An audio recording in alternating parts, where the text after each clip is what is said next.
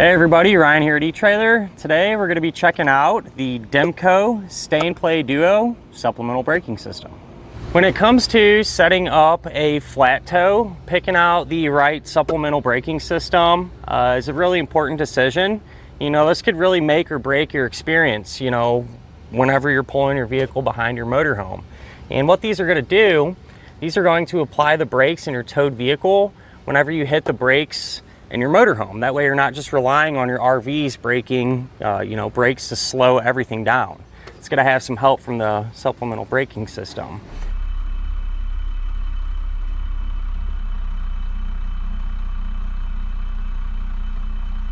I've installed probably 150, 200 uh, flat tow setups or done that many.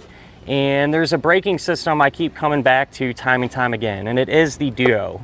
Uh, honestly, I've probably installed all the braking systems that we carry. There might be one or two that have kind of slipped through the cracks, but for the most part, I've done them all. And like I said, I keep coming back to this one, and I feel like a lot of the guys in the shop would agree with me too. Very, very rarely do we ever have issues with these. Um, barely ever see them come back, you know, after miles and miles of flat towing. We don't see these come back and with any issues. So super reliable. And I feel like that's really important. You know, you're not trying to deal with problems. You just want to set everything up real quick and hit the road and enjoy yourself. So uh, that's why I keep leaning on this one. You know, they just flat out work. Uh, with that said too, this particular system I've probably put on 50 cars if I had to guess. I've done a lot of them and I've yet to come across a vehicle that this did not work with. Um, you know, from kind of oddball vehicles all the way up to the common ones, your Jeeps, your uh, small pickup trucks, your uh, Honda SUVs, things like that. This all works with those. And even lately, uh, what I've been seeing, probably in the last year or two, is hybrids. A lot of hybrids, kind of getting more and more popular now, you know. So um, I've done quite a few hybrids as well, and yet to come across one again that this didn't work with. Uh, perfect example of that, just last week I did a new Jeep, uh, the 4xE. The system went on perfectly. A lot of Escape uh, hybrids. This works real well. The, the C-Max, kind of all the popular ones, the flat tow I've done on, and system just works out. So talking about all my personal experience with the vehicle side and, you know, this working with all the ones that I've done, um, you know, I just want to talk about is this going to work with your motorhome? And as long as your motorhome has hydraulic brakes, the system will work just fine, um, regardless of the make and model or whatever of, of your motorhome. Um, if your motorhome has air brakes, uh, the system is not going to be compatible with it. So, um, not really a huge deal actually. Demco makes another system pretty much identical to this, but it's um, specifically for those motorhomes with air brakes. It's called the Air Force One. Again, a lot of luck with it, shares a lot of the same benefits and features and everything as this one does. So I just wanted to kind of touch base on that before we get too deep. If you happen to have a motorhome with air brakes, uh, that Air Force One system might be one uh, worth checking out. So a couple of the big questions that people are always kind of wondering about when it comes to the braking systems. Uh, one of them is how easy is it going to be to set up? You know, it's going to take up a bunch of your time or anything like that. And with this system, essentially there's two steps, super easy. We got two steps. One of them is you're gonna have a tether. This uh, cord here for your breakaway switch. You're simply just going to connect it uh, to the breakaway switch. And then the other end of it will just go onto your motorhome hitch. And then all you're gonna have to do is come inside of your vehicle and simply activate the system. So you have this G-force controller, it's what they call it turn the switch on when you're ready to flat tow. When you're all done, turn it off. So really, I mean, anyone can do this, right? And, um, you know, even if you do want to make some small adjustments, you can. It's super easy. That's what this knob is for, so you can adjust the sensitivity. So if you feel like, you know, your car is not uh, braking as aggressively as you like, you can always turn this knob um, uh, to more sensitive which is down, or if it's coming on a little too hard, you can always turn it up to less sensitive. So like if you have a real small car, usually you can get away uh, with making it less sensitive because a motorhome can cover a lot of it. You don't really need super aggressive braking. But then on the other hand, if you got, you know, a big heavy truck or something, you can always make it a little more sensitive and make it come on a little bit stronger. So really straightforward. And like I said, it works with so many different vehicles. Um, you know, having that knob, you can kind of fine tune it if you want and uh, make your experience a little bit better. So one of the reasons uh, the system is so easy and quick to set up is because it is a permanent type system. So what that means is the actuator cylinder here that actually pushes down on your car's brake pedal will stay with the vehicle. The G-force controller stays with it, even the main operating unit. So that's why everything's so streamlined.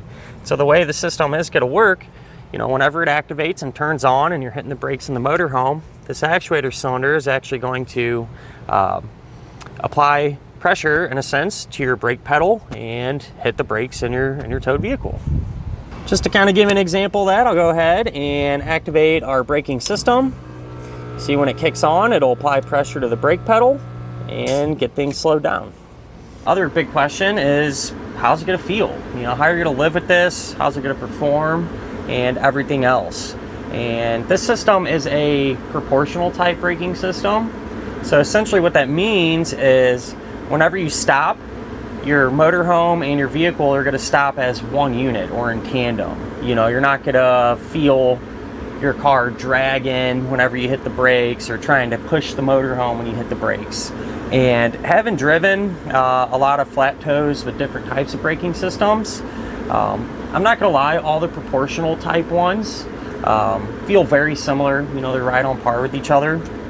Um, but there's other ones that are called time delayed, and essentially it's the same amount of braking pressure every time after a certain length of time that you're on the brake pedal here in the motorhome. With those, those work fine. There's nothing wrong with them, but there is a difference. You know, you definitely can feel a difference uh, in terms of when you're hitting the brakes. And so just to kind of, um, you know, elaborate on that a little bit more, just kind of give you some examples.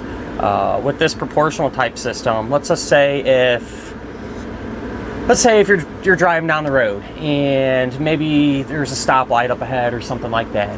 And you know you get on the brake pedal about halfway and kind of just come up to a normal stop. Your brakes in your towed vehicle are going to do the same thing so they'll match that pressure and match that intensity and everything else.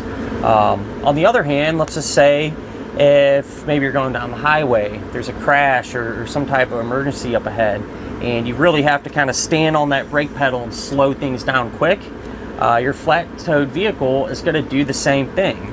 So like I said, overall, it's just going to give you a little more confidence knowing everything's working in conjunction and working together as opposed to working against each other. And, you know, it just makes the braking experience that much more predictable.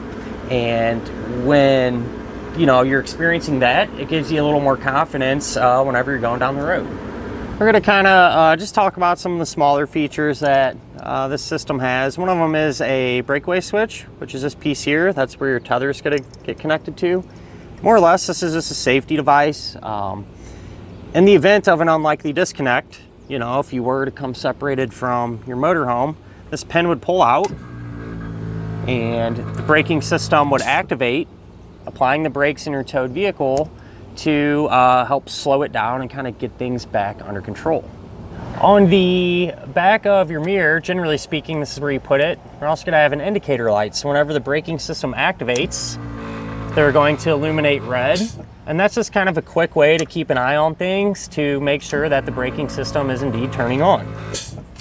If the indicator light that we just showed you uh, isn't enough for you and you want a little more information, there's another system essentially identical to this one with one exception. That's that indicator light. Instead of that, uh, it's called the wireless coach link. And essentially you would move the indicator light up into your motorhome. So it's a little monitor that you plug into a 12 volt outlet and does the same thing. Just whenever you hit the brakes, you can see the light right here as opposed to on the front of your towed vehicle. So, you know, that's always an option for you too if that's something you think you'd like a little bit better some people ask if a braking system is absolutely necessary. And in some special circumstances, it's not, you know, because I'm speaking in terms of uh, legality. You know, uh, there's a couple of states and, uh, you know, with certain real small vehicles that you don't absolutely need a braking system to stay legal. But generally speaking, most vehicles uh, and, and most of the country is going to require one uh, by law. And it, you know, as time keeps moving forward too, a lot of them are changing over to adapt that policy. So, you know, having a braking system is going to keep you legal, and not even really that. You know, it's it's really just about your safety and your overall experience. You know, if you can drive with more confidence and keep not only yourself and your family safe, but others around you, uh, that's worth it uh, in my book. And you know, just in case if you're new to flat towing and still trying to figure all this out, um, I know it can be kind of overwhelming, but um, there's there's really going to be five main parts that that you're going to need to get most setups kind of on the road and going. One of them is going to be your base plate, and what this is going to do is provide you with a solid and reliable attachment point. That way you can hook your tow bar up to it. So tow bar is going to be your next component, and this is going to be that physical link that actually connects the front of your vehicle to the back of your motorhome. Third main part will be your safety cables, and these are there in the event um, of an unlikely disconnect. Keep everything connected, right? Uh, fourth main part will be your tow bar wiring. And what that's going to do is transfer the lighting functions from the back of your motorhome to the back of your towed vehicle. And last but not least, we have our supplemental braking system. And um, as you guys know, uh, you're well aware, um, you know, this is going to help slow things down whenever you're, whenever you're going down the road. And there is one more thing that I like to recommend with just about every single flat tow setup, uh, especially with this braking system, and that is a battery charge line kit. Demco actually makes one. Um, and essentially what that's gonna do is keep your battery, your towed vehicle kind of topped off and, and charged up because when this braking system operates, it uses your vehicle's battery. So over time, you know, it could slowly start to drain your vehicle's battery. And obviously you don't want that. Um, so that's where using a charge line kit would uh, solve that issue and give you the confidence to know when you're done flat towing and you want to disconnect, you can start up your car without any problems. With all that said though, you know, if you're still kind of unsure about this system and wondering if it's going to be exactly what you need or what you're looking for because maybe, let's say you don't flat tow all the time or you like to change your towed vehicles up, um, a portable system might be a better option. You know, they you can bounce them around, take them out of the car. Uh, they do require a little more setup time, but it's really just going to be going to depend on what you're looking to do, right? Um, if a portable one interests you, uh, personally, I recommend the Blue Ox Patriot 3. I think it's a, a really good system. But, you know, at the end of the day, when it comes to a permanent type braking system and your RV has hydraulic brakes, like I said earlier, this is always my go-to. This is always the one I recommend. Um, it just flat out works, you know, and even when it comes to the installation, uh, usually nine times out of 10, this is probably one of the easier ones to do in terms of other comparable type braking systems. So um, it is doable. Uh, don't get me wrong, there is some wiring and stuff and it's a little time consuming, but the good news is you do it one time and you have the benefits of it being super easy to use and live with uh, from there on out. I am hoping I was able to provide you guys with some of the information you're looking for and answer some of those questions and at the very least kind of get you going in the right direction when it comes to choosing a braking system. But thanks for watching.